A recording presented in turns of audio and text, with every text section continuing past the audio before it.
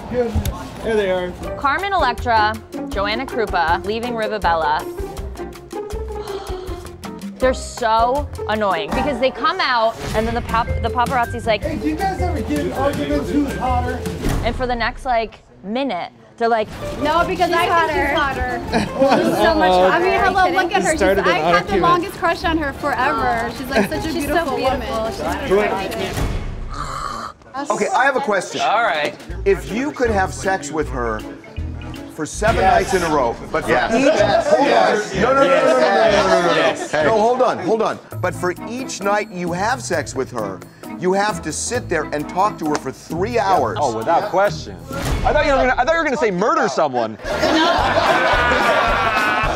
You're ending it with like talk to her? Yeah. Go,